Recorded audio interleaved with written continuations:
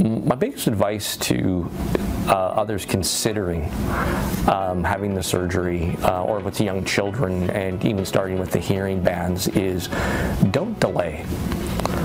What are you waiting for? I get you're scared. I understand the fear. I understand the what if it doesn't? All of those things. At some point, you have to stand up and say, I'm advocating for myself or my child, and this works.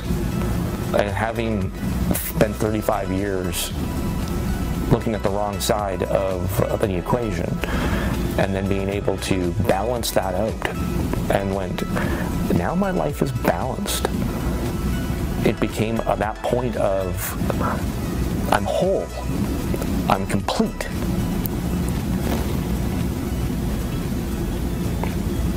That's the, the part that you don't know that you're missing until somebody says, Did you know? Completing the equation of who I am was more than just about hearing. It was about that acceptance, that balance, that ability of just being part of the entire community and not missing. Don't hesitate.